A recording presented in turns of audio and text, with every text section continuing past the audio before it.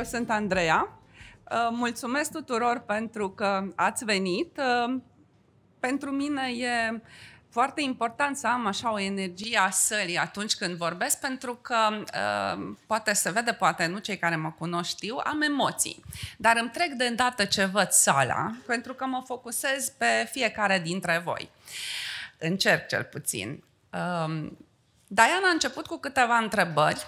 Culmea este că și eu m-am gândit să vă întreb câte ceva.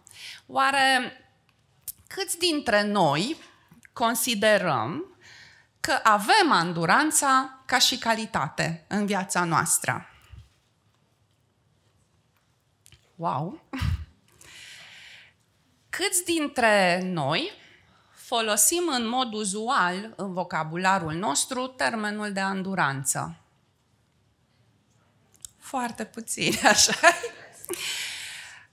Vă mărturisesc că atunci când Victor m-a invitat să vorbesc despre această temă, Uh, pentru că sunt un om al cuvintelor, am gândit, oare de unde vine cuvântul ăsta? Ce mi evocă mie acest cuvânt? Și, uite, m-am gândit la câteva alte cuvinte. Uh, de unde ar putea să provină? Dur, andura, durabilitate și anduranță. Ce înseamnă dur? Uh, dacă ne uităm în dicționar sau dacă ne uităm în interiorul nostru, la ce știm deja, o să spunem că dur este ceva greu de pătruns. Uh, dacă ne gândim la o persoană dură, este cineva crud, nemilos, fără emoție, nu? greu de citit, greu de pătruns. Ehm, dacă ne gândim la termenul a îndura, cel puțin mie, primul lucru care mi-a venit în minte a fost de a accepta fără niciun fel de opoziție. Viața vine spre mine și asta este, nu mai am nimic de făcut. Sigur că mai are și alte sensuri uh, dacă ne uităm în dicționar.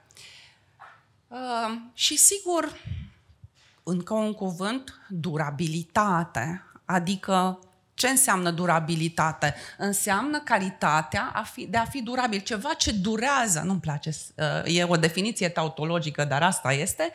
Ceva ce durează în timp. Și în fine, dacă ajungem la înduranță, m-am uitat și la câteva speech-uri TEDx să văd uh, despre ce vorbesc speakerii TED atunci când vorbesc despre anduranță și toată lumea se gândește în primul rând la capacitatea de a rezista la un efort fizic. Dar în realitate, anduranța este capacitatea noastră de a rezista uh, la efort.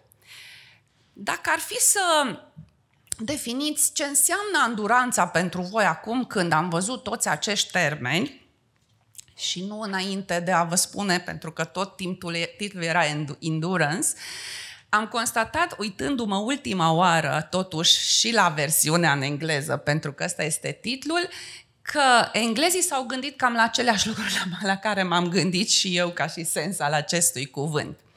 Dar, totuși, dacă ar fi să definim ce înseamnă pentru fiecare dintre noi cuvântul anduranță, care ar fi răspunsul nostru? De a îndura eventual un disconfort. Ok. De a fi confortabil cu disconfortul. Capacitate de adaptare la ceea ce îți vine în fiecare zi în viață. Perfect. Capacitate de adaptare la ceea ce îți vine în fiecare zi. Alte păreri? Nervi de oțel. Nervi de oțel, reziliență, pe termen lung. Da, apropo de durabilitate, iată de ce contează toate aceste cuvinte când ne gândim la anduranță. Ei, pentru mine, anduranța înseamnă libertatea de a alege să învăț din orice sursă și să transmit ce învăț oricui alege să învețe de la mine. Asta este pentru mine anduranța și este lifelong learning. Care sunt sursele din care învăț? Care sunt sursele din care învățăm? Ați văzut că ați avut o întrebare de dimineață. Pentru mine, sursa cea mai importantă este cititul. Uh, și în legătură cu asta mi-am amintit câteva întâmplări în care cititul a avut un rol în viața mea și ultima este de ce am adus această poză. Săptămâna trecută, prietena mea, Hana Bota, care este o scriitoare din Cluj și poate unii dintre voi o cunoașteți, m-a invitat la o prezentare de carte. Uh, a spus, am scris o carte, trei femei și cu mine patru și vreau să o prezint având trei femei în panel și cu mine patru. Ceea ce nu mi-a spus ea a fost că este un roman fluviu de 550 de pagini și că în sală vor fi trei critici literari, din care doi uh, în, uh, chiar la masă cu mine. Sigur, a fost un challenge și am zis, uh, dar tu ce vrei de la mine, Hana? Ce crezi tu că pot eu să aduc în plus vorbind despre cartea ta? Și a spus, da, suntem trei femei, a explicat rolul celorlalte două și a zis, ție ți-am rezervat rolul cititorului avizat. Tu ești omul care a trecut prin, prin niște experiențe și ești femeia din ultima parte a cărții sub semnul hipnozei, pentru că din tot ce știi, tu deja ai transces dincolo de experiență. Și vă mărturisesc că am terminat de citit cartea chiar în dimineața aceea și personajul la care s-a gândit eu, ea că aș putea să fiu eu, era în ultimele 50 de pagini. Norocul meu că sunt o perfecționistă și nu las niciodată nimic necitit și neînvățat. Uh, dar, pe de altă parte, având ore toată ziua, n-am apucat să mă pregătesc și Acolo, la fața locului, am ascultat pe toți vorbitorii de dinaintea mea, eu fiind ultimul vorbitor și m-am aliniat pur și simplu cu ceea ce am simțit când am citit cartea, cu ceea ce am știut, apropo de învățare, dinainte, da, cititorul avizat, și cu ceea ce am simțit că și am analizat în capul meu că ceilalți n-au spus încă și a ieșit foarte bine. Dar ce mi-a dat putere ca să trec peste acest challenge, pentru că era un real challenge, a fost faptul că uh, am învățat foarte mult înainte, am citit foarte mult înainte și de aceea cred că cititul este o importantă sursă de învățare și orice știm ne, ne oferă o libertate în orice acțiune a noastră. Și apropo de reziliență și de disconfort, să ne descurcăm în orice situație. Și acum, sigur că gândindu-mă la citit, am stat și am analizat doar cum am ajuns eu să-mi placă cititul. Și mi-am amintit primele mele zile de școală în clasa 1. Și aveam un coleg, nu o să-i spun numele, o să spun Sandu, chiar așa îl chema, uh, Sandu știa să citească și Sandu știa să citească nu doar în limba română, Sandu știa să citească în limba franceză și știa să citească revista PIF. Wow! Și ne citeam pauze din PIF și ne traducea și mi se părea ceva extraordinar și am zis eu, abia aștept să termin clasa întâi ca să pot citi și eu cât mai multe cărți. Și sigur că până în clasa patra am apucat să citesc toate cărțile cu povești pe care le-am găsit în librărie sau în biblioteca mea de la Carei, de acasă. Mă știau toate bibliotecarele. În a cincea am fost obligată să trec la romană pentru că nu mai găseam povești. Deși poveștile până în ziua de astăzi îmi plac, Victor știe că mai citesc în continuare povești și nu doar pentru adulți, deși avem, de exemplu, basmele lui Hesse pe care vi le recomand. Dar am rămas cu această nostalgie a poveștilor, oricum am fost obligată în clasa 5 să trec la roman. Și țin minte și acum primul meu roman a fost, bineînțeles, Robinson Crusoe. Și au continuat altele, uh, David Copperfield al lui Dickens, uh, Singur pe lumea lui Hector Maloș și așa mai departe. Uh, bineînțeles, personajele lui Jules Verne, mă gândesc că foarte mulți dintre voi ați citit Jules Verne sau mai citiți Jules Verne, poate. Uh, și m-am gândit uh, uh, ce aveau în comun aceste personaje, de, îmi plăceau mie foarte mult. Și revin la cuvântul de la care am, am pornit, libertate. Pentru că ele erau niște personaje care se descurcau în viață, atingeau un scop, indiferent prin câte greutăți ar fi trecut. Sigur că în facultate cititul meu s-a dezvoltat și m-am îndreptat spre alte direcții sau în liceu la fel. Uh, nu știu, am, probabil că ținem cu toții minte într-un mod dureros curicula obligatorie de liceu și uh, de exemplu, mi-amintesc că nu eram un fan al moromeților lui Preda. În schimb, mi-a plăcut foarte mult intrusul. Înainte de 89 era mai greu să pui mâna pe cel mai iubit dintre pământeni, pe care mi l-aș fi dorit să-l citesc înainte de facultate.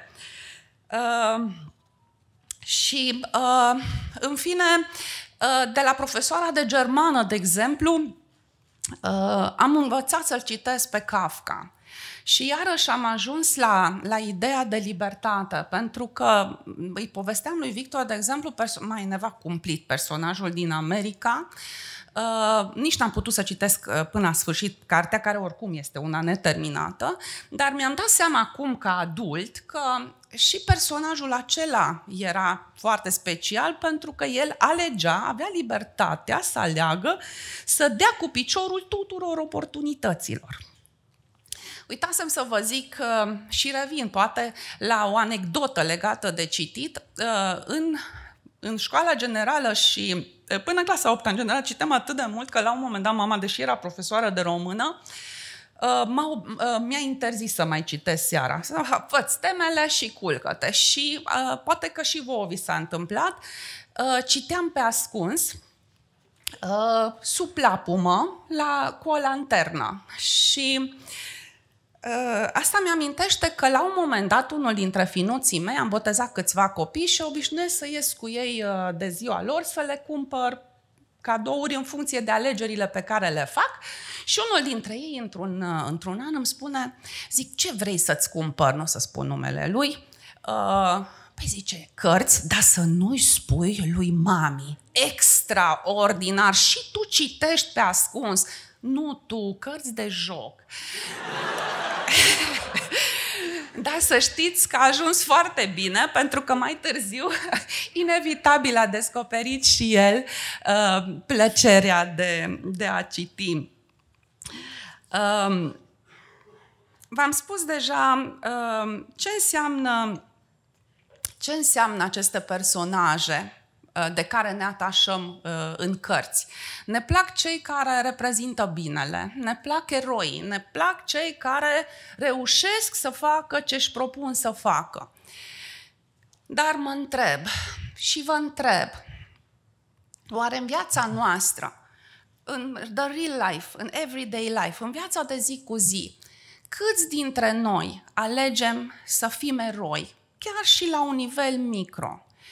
Și mi-am amintit, de exemplu, când am, uh, eu am fost judecător și am fost membru în Consiliul Superior al Magistraturii, ceea ce era o funcție electivă și trebuia să te duci prin toată țara să te întâlnești cu colegii și nu era foarte simplu să răspunzi la întrebările unor judecători, mai ales dacă contracandidații tăi erau niște președinți de curți de apel. Uh, Uh, și după ce mi-am terminat mandatul, am spus asta și la TEDx, am încercat să încurajez alți colegi să candideze, să-și asume acest lucru și să știți că foarte puțini și-au asumat, în special dintre cei care nu aveau funcții de conducere. Și cred că, din păcate, foarte puțini învățăm din acea libertate pe care o admirăm în cărți. Foarte puțini ne asumăm să ocupăm o funcție în, din care cu adevărat putem face diferența și mai grav, poate foarte puțin ne asumăm să facem diferența măcar prezentându-ne la vot.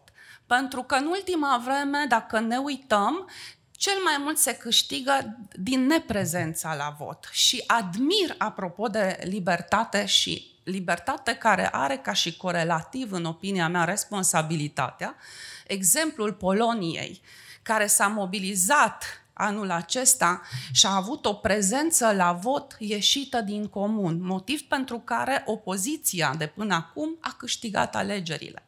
Poate reușim și noi să învățăm puțin din această libertate și responsabilitate a eroilor din cărți și refuzăm să mai fim victime. Am constatat inclusiv în sistemul meu, uh, fostul meu sistem din care făceam parte, am spus că am fost judecător, foarte mult se plâng, am foarte mult de lucru, lumea nu ne iubește, lumea nu ne respectă. Eu cred că fiecare avem un rol în the big picture. Suntem un, o mică piesă într-un puzzle, dar orice mică piesă dintr-un puzzle poate să facă diferența. Și indiferent că suntem judecători, scriitori, speaker, profesori sau orice am alege să fim, apropo, pentru că avem libertatea să alegem ce învățăm și ce dorim să învățăm pe alții, Um, dacă ne facem datoria noastră, atât cât este ea la locul în care suntem, cu maximă responsabilitate, putem să facem o diferență. Care sunt alte surse de învățare? Că acum am vorbit despre citit.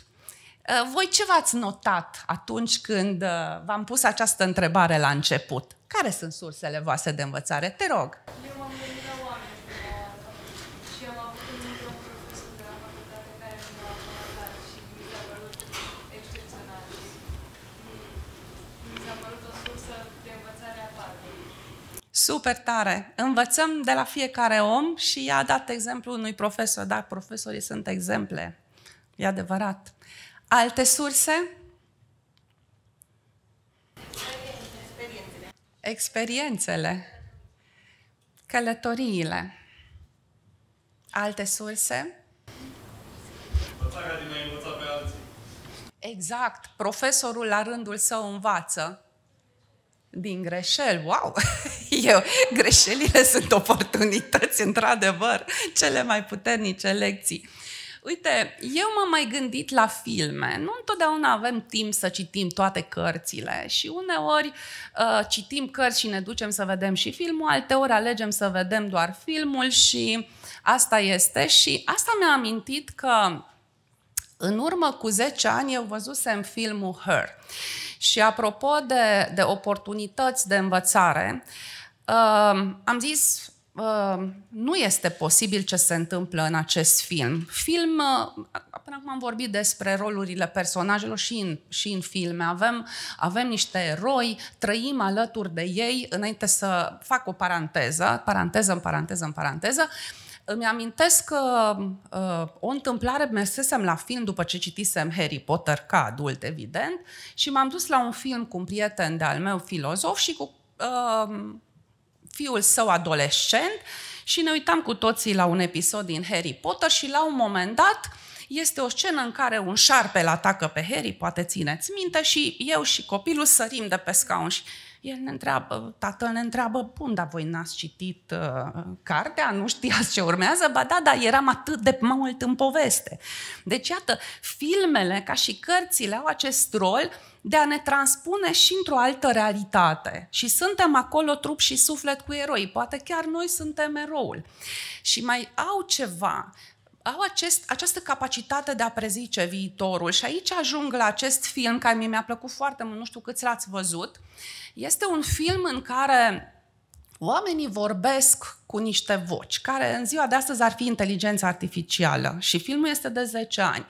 Și personajul principal, jucat de Joachim Phoenix, se îndrăgostește de o voce feminină.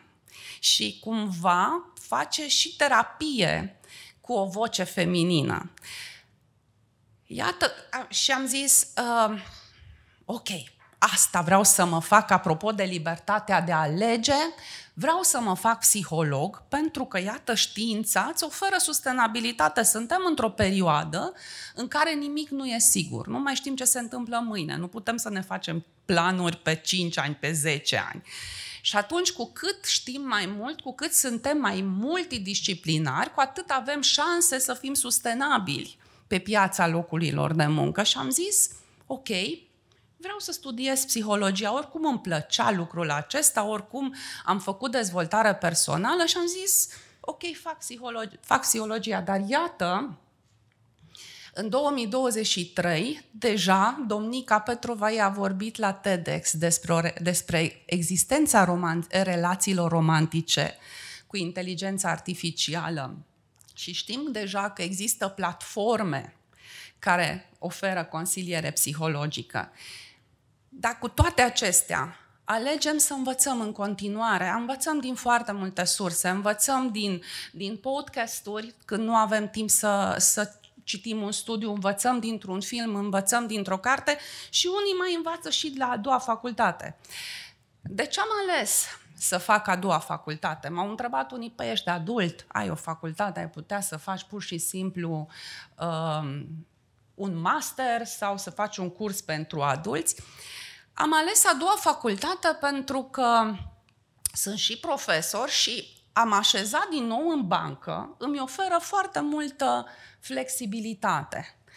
Um, uneori în aceea zi, cum e și ziua de astăzi, uh, sunt și student într-o parte a zilei și profesor în cealaltă parte. Și acest joc de rol mă învață să înțeleg perspectiva celuilalt, adică să înțeleg și perspectiva profesorului și perspectiva studentului um, și să înțeleg mai bine nevoile studenților și chiar l-am luat acest feedback anul acesta să văd dacă am îmbunătățit cu ceva metodele mele de predare, tocmai pentru că fiind din nou studentă în bancă, uh, am înțeles ce îmi lipsește mie. Am învățat de la alți profesori de la altă facultate Uh, ce e bine să mai fac și ce, din potrivă, nu este uh, foarte bine. Mi-am făcut o grămadă de notițe, dar uh, nu le-am urmat, pentru că am constatat că nu sunt în stare să îmi urmez notițele. E prima oară când am notițe, pentru că cred că am emoții mai mari ca sau aveam la început, acum mi-au trecut. La ce mi-au folosit totuși aceste chestiuni de dezvoltare personală? Uh, am lucrat într-un mediu extrem de toxic în care conflictele erau la ordinea zilei și totul era imprevizibil și era de o duritate ieșită din comun, cum probabil și voi aveți locuri de muncă toxice unde uneori nu vă duceți cu plăcere. Și dezvoltarea personală, chiar înainte de a face facultatea, m-a ajutat să trec prin niște, niște evenimente uh, și mi-amintesc, să zic, două mi-am amintit gândindu-mă la această temă. Eram într-o ședință cu președinții curților de apel și uh, cea care conducea ședința s-a întors spre mine și mi-a zis, pentru că, sigur, puneam niște întrebări și uh, prin întrebările acestea produceam niște conștientizări și duceam la un alt rezultat al votului decât cel scontat de cel care făcuse propunerea. Și s-a întors brusc spre mine și mi-a zis, de față cu acești distinși colegi, ești un nimeni.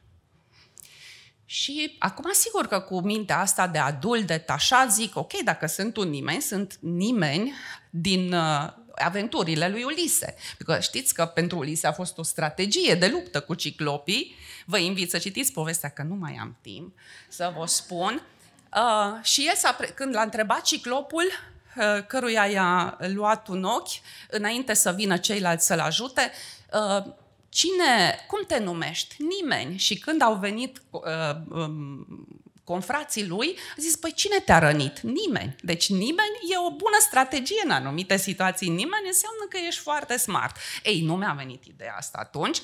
Însă, apropo de dezvoltare personală, am citit cărți din care am învățat compasiunea am, am, uh, l-am întâlnit pe Dalai Lama uh, anul trecut într-o călătorie în India.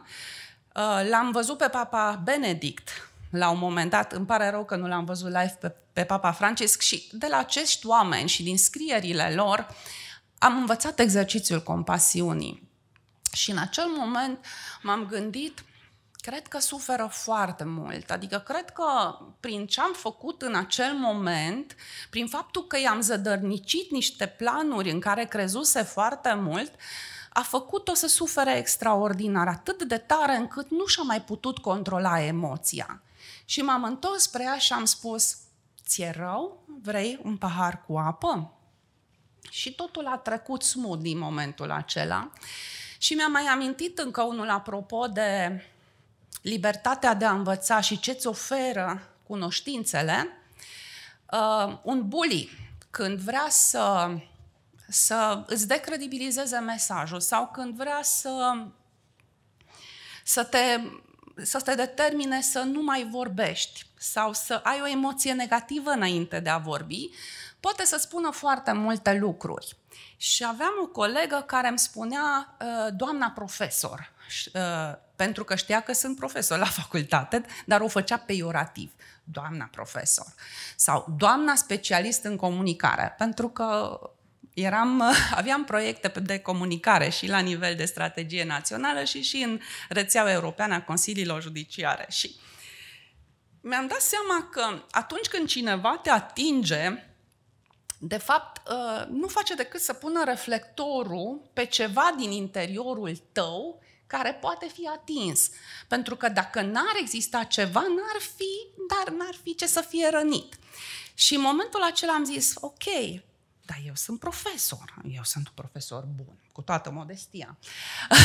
Eu sunt un specialist în comunicare pentru că eu sunt un om care comunică. Comunic unul la unul, comunic în grupuri restrânse, comunic public. Și în momentul acela în care am realizat lucrul acesta, nici n-a trebuit să îl spun. Pentru că atât de tare s-a schimbat atitudinea mea, încât niciodată, dar niciodată, n-am mai folosit aceste cuvinte. Așadar, ce ne învață învățatul din orice sursă? Să avem un filtru prin care vedem realitatea, pentru că de asta citim și ne uităm la cărți, sau citim și ne uităm la filme, gata, da, aproape că am obosit, aproape.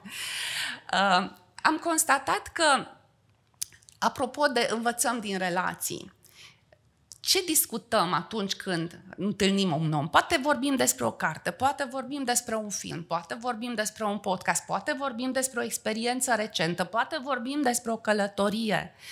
Și dacă am trăit aceeași experiență fiecare, o să putem constata de multe ori că vorbim parcă, deși de același lucru, de lucruri diferite. Pentru că toți privim realitatea prin filtrul experienței noastre, în funcție de ce am trăit, de ce am citit, de ce am văzut, de câte relații am avut, de câte experiențe, uh, în câte experiențe challenging ne-am, ne-am lăsat atrași. Și toate aceste, aceste lucruri ne flexibilizează. Am ales această poză pentru că o admir foarte mult. Este o yoghină, a murit anul trecut, 101 ani avea și, a, și era flexibilă până, până la sfârșitul vieții. Și așa cum îți controlezi corpul, îți controlezi și mintea învățând continuu. Și toți avem această libertate. Și mi-am mai amintit două persoane, persoane, era să zic personaje, sunt persoane și personaje în același timp care îmi plac enorm de mult. Poate știți și voi, găsiți pe Facebook și pe Instagram. E vorba de Günther Krabenhof și de Iris Apfel. Um, și am pus aici cuvântul adaptabilitate cu semnul întrebării. De ce? De ce credeți?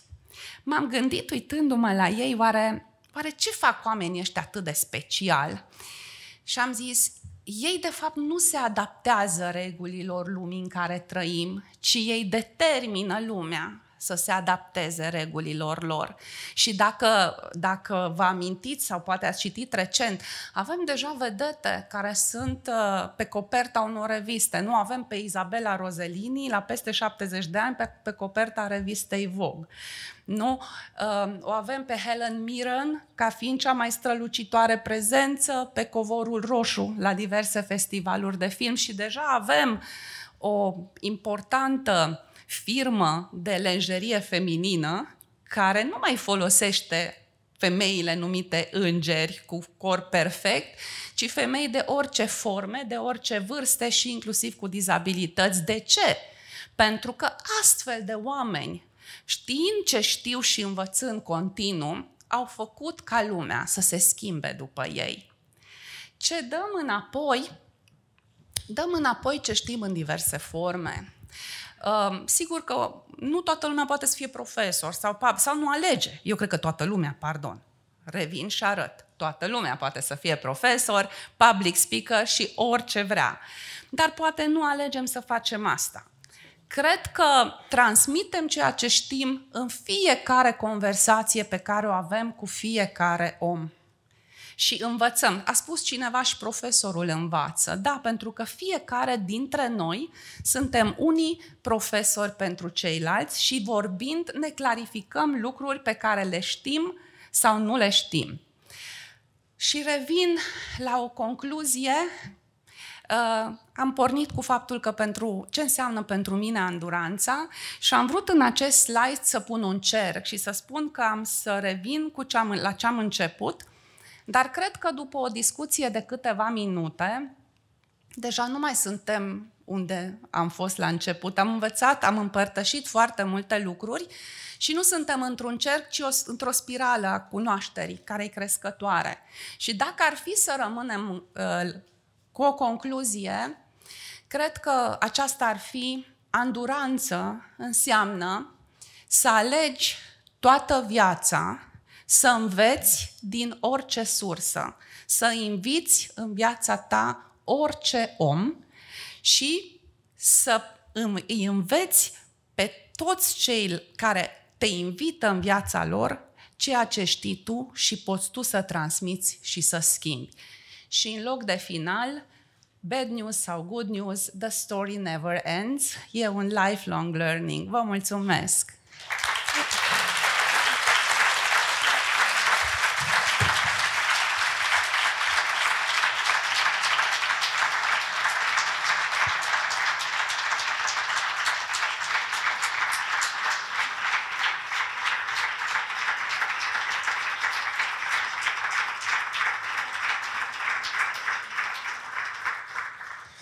Înduranță și la aplauze. Felicitări, Andreea! De data asta am stat, că la TEDx îmi venea să plec de pe scenă. Felicitări și pentru cel mai lung discurs Creative Mornings de până acum, potrivit temei Anduranță!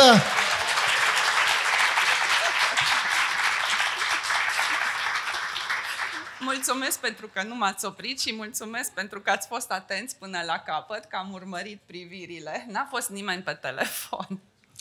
Uh, Mi-am notat câteva idei, dacă um, îi să rămânem uh, cu ce am rămas eu. Uh, Anduranța, sigur, ca o formă de lifelong learning și învățarea nu se încheie cât trăim. Uh, S-a încheiat, în schimb, concursul nostru de pe Facebook și imediat o să anunțăm con- câștigătorul. Uh, Cititul este o foarte uh, importantă sursă de învățare. Andreea, nu fugi, că mai sunt, luăm câteva întrebări. Învățarea duce la libertate, mersul la vot ca o formă de anduranță și ne așteaptă la anul un pic de anduranță. Învățarea ne învață să privim lumea printr-un filtru. Uh, Până vă gândiți la ce întrebări aveți, poate o să mai luăm una, două întrebări. Uh, O să invit în față cine a câștigat premiul uh, la concursul de pe Facebook, așa că dacă numele vostru începe cu A, dacă prenumele vostru începe cu A, ar trebui să vă entuziasmați un pic. Și dacă numele vostru începe cu S, ar trebui să vă entuziasmați și mai tare. Și dacă vă cheamă uh, Alessandra Sâmpălean, vă rog să vă ridicați. Și o să ne, să ne vorbim după eveniment să dăm uh, invitația la TEDxorilor. Mulțumim și felicitări, Alessandra, să aplaudăm!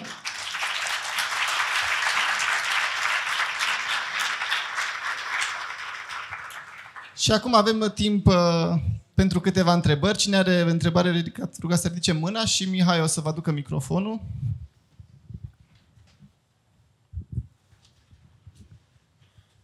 Mulțumesc. Nu mă pot abține. Mulțumesc pentru discursul de astăzi. Foarte frumos. Uh, am două întrebări. Spuneai că ești o perfecționistă. Cum ai lucrat în zona asta astfel încât să-ți depășești și să mergi spre capacitatea de învățare? Pentru că perfecționiștii de obicei se și frustrează la un moment dat și cum treci peste partea asta. Și uh, cea de-a doua este legată de compasiune. Cum ai făcut să-ți dezvolți? Ai pomenit de uh, două personaje care te-au ajutat, dar cum ai făcut să dezvolți și mai tare partea asta de compasiune pentru oameni și durerea oamenilor sau reacțiile oamenilor?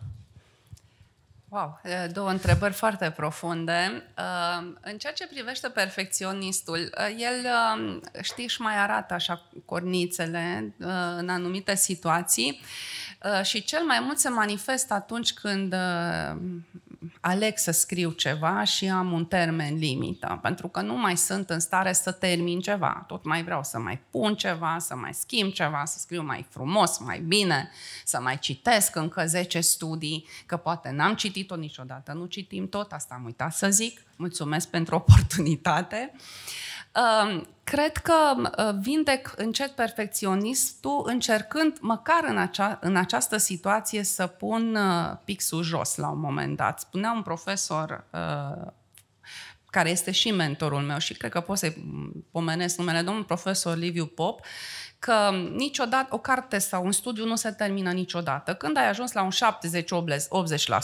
pui pixul jos și te mulțumești cu asta. și cam asta fac și eu. Uh, În ceea ce privește compasiunea, uh, sigur, sunt multe modalități de practică, dar uh, îmi amintesc um, o lecție uh, pe care a ținut-o la Cluj uh, un gheșe, uh, Geshe Sherap, cam de o vârstă cu mine, am reușit să ne împrietenim cumva, am găsit chestii comune. Și el vorbea despre exercițiul compasiunii și chiar, apropo de a practica, uh, ne-a dat câteva uh, exerciții concrete. Acum mă exprim tautologic pe fond de emoții. Uh, și cumva ne-a învățat să ne punem și în, în poziția celuilalt și să, să încercăm să-l înțelegem uh, ca și cum am fi noi. Și uh, eu l-am întrebat, ok, dar foarte multe am învățat despre compasiunea față de ceilalți, dar nu ne-ai spus nimic despre compasiunea față de noi înșine. Și el mi-a zis, da, noi tibetanii nici nu ne punem problema că n-ar exista așa ceva, adică era un dat. Uh, și cred că exercițiul compasiunii începe cu tine, pentru că dacă tu reușești să te ierți pe tine cât de repede poți după ce ai făcut ceva ce nu ți-a plăcut, uh, cred că este prima, primul pas ca să-i poți ierta pe ceilalți, ca să-i poți, dacă te înțelegi pe tine de ce într-o anumită situație ai reacționat într-un fel și să înțelegi că ai folosit tot ce puteai tu mai bun, toate resursele, că dacă puteam să facem mai bine, făceam mai bine, nu? Și atunci să te ierți și să exprimi compasiune față de tine, tot așa vei reuși și cu ceilalți, pentru că cred că și ceilalți fac tot ce pot ei mai, mai bine în momentul acela. Chiar dacă pe tine lucrul acela te rănește, e problema ta. Te rănește pentru că e ceva de rănit, că, pentru că tu nu ai compasiune față de tine. Și atunci cred că tot timpul spre mine mă întorc. Și așa mi-e cel mai simplu. Mulțumesc. Spuneați că fiecare dintre noi avem o... Te rog să-mi spui tu. Da. Uh Spune că fiecare dintre noi avem o influență în lume și suntem o mică piesă de puzzle. Eu de multe ori simt că influența mea e prea mică sau acțiunile mele se, se bat de un zid de piatră și mă închid în mine, zic, nu are rost, îi las pe toți așa cum sunt ei și nu are rost să mai spun sau să mai fac anumite lucruri. Cum să trec de provocarea asta de a, sau de uh, impedimentul ăsta? Uh îmi amintești de, de mine la vârsta ta, sau poate și mai, mai mică. Um, poate nu știți, am spus-o și cu alte ocazii, n-am intrat din prima la prima facultate. Am intrat a treia oară. Uh, eram, uh, am terminat liceul în 1988 uh, și la drept erau 1000 înscriși pe 30 de locuri și eram olimpică la filozofie, eram a patra pe țară și am fost sigură că o să intru, șefă de promoție în liceul meu, nu mi-ajungea nimeni cu prăjina la nas. Și vine zbang, am picat la admitere, dar și n-am picat sub linie, că poate părinții mei erau mai mulțumiți un pic. Nu, am picat bine sub linie. Și lucrul acela te dă foarte mult în spate, pentru că spune, oare nu pot, oare nu voi reuși niciodată, Poate că unul dintre părinți, tatăl, de regulă, spune ești o proastă, ești un prost, nu ești în stare. Um, ce poți să faci într-o astfel de situație? Eu, pentru mine, a fost motivația, o motivație foarte puternică. N-am intrat nici a doua oară. Adică un an de zile am fost în depresie. Degeaba am citit, nu se lipea nimic de mine. Și după aceea am zis, eu nu mai pot să stau în starea asta și am ales să fac orice, adică lucram în timpul zilei și învățam noaptea și am reușit. A fost anul, bine, a fost 90 când s-au schimbat subiectele la drept și nu era filozofie și economie politică, era istorie și gramatică, deci trebuia să o iei de la capăt. Um, și pentru mine asta a fost. Deci în momentul, eu cred că e un moment în care îți ajunge cuțitul la os, când zici eu nu mai pot să trăiesc aici, când ești, știi, de jos, tu nu mai poți decât să urci, că stai cât stai, cât stai în fundul văii și în momentul în care tu, că în tine, că, apropo de compasiune și apropo de învățare, self-esteem-ul nu ți-l dă aprecierea celorlalți, nu ți-l dă o evaluare la un examen. Self-esteem-ul ți-l dai tu. Tu poți să spui, eu dacă învăț știu atâta, sau am învățat destul, n-am învățat destul. Eu sunt în stare să fac lucrul acesta. Poți să o faci ca salt sau poți să o faci în pași mici. Dar cred că o determinare, cu determinare poți să ajungi oriunde. Dar e nevoie să crezi în tine.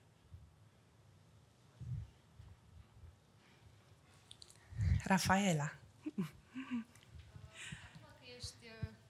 Acum că ești studentă, dacă acest aspect ți-a influențat uh, metodele de predare și perspectiva ca profesor? Absolut. Uite că în sală am niște generații. Uh, da, mi-am dat seama uh, ce îmi lipsește ca student, adică eu credeam, adică nu credeam neapărat despre mine că încerc să, adică chiar credeam că fac tot ce ține de mine și că mai bine de atâta nu se poate. Dar punându-mă în bancă, am, am văzut profesori care foloseau metode și mai bune și am văzut lucruri care nu mi-au plăcut, poate la același profesor, poate la altul, și pe care le făceam și eu. Și din postura de student zic, wow, nu mai vreau asta. Uh, și ca să-ți dau un exemplu, uh, uneori dau prea multe exemple și repet de prea multe ori. Asta este uh, feedback-ul care mi se dă la fiecare sfârșit de an. Right, Paul? uh, și mi-am dat seama că și pe mine mă enervează ca studentă când profesorul repetă de atâtea ori că doar nu sunt idiotă. Și încerc într-adevăr să fiu un pic mai structurată, să nu vorbesc să nu, uite, m-am făcut și cu voi, paranteză în paranteză în paranteză. Nu, studentul nu are atâta răbdare mai ales dacă e cursul lung, că eu țin un curs de patru ore și atunci încerc să structurez mai mult decât studentă, să le ofer slide-uri mai, uh, deși nu e indicat, dar am observat că pe mine mă ajută slide-urile cu mai mult text în recapitulare. Deci am învățat, categoric. Mi-a schimbat foarte mult perspectiva aceasta. Și am învățat și, că, și cum să învăț, nu doar cum să predau, pentru că na, prima, asta e o altă întâmplare la statistică. Nu știu câți ați făcut statistică în facultate. Eu am venit la psihologie doar din semestrul al doilea, pentru că până ianuarie am fost la București. Deci nu am fost un semestru deloc, eu sunt la zi. Nici nu m-am prezentat în primul semestru la statistică și în semestrul al doilea m-am dus la profesor și am zis avem, am vreo șansă să trec la acest examen în semestrul 2 dacă n-am fost în semestrul 1 și a zis ai da foarte mici. um, și am zis ok, hai să văd că toți sunt adult. Um, și da, la primul part, la parțial, care era la o lună de zile de când a început, o lună și ceva după ce a început școala, am luat 6,27. Deci nu 9-10, apropo de perfecționist, dar 6-27 era printre primele 35-40 de medii dintr-un an de 350 de oameni, pentru că erau subiectele dificile, m-a simțit mai bine. Tragedia este că am luat 6 și la examenul final, deși tot semestru m-am pregătit, știam de 10 și mi-a zis, și am zis, uh, i-am, i-am dat feedback-ul acesta, dar eu știam de 10, dar timpul pe care uh, ni l-ai oferit ca să rezolvăm problema a fost mult prea scurt pentru cineva de vârsta mea și care are un background nu, care mă determina să învârt lucrurile pe toate părțile înainte să iau o decizie. Și a zis, și asta se punctează, viteza cu care gândești, strategia pe care ți-o faci în timpul respectiv. Și am zis, ok, aici mai am de lucru. Dar nu m-am dezamăgit pe mine, am zis ok, hai să văd ce am de făcut. Mulțumim frumos, de asta aplaudăm pe Andreea, mulțumim foarte, foarte, foarte mult!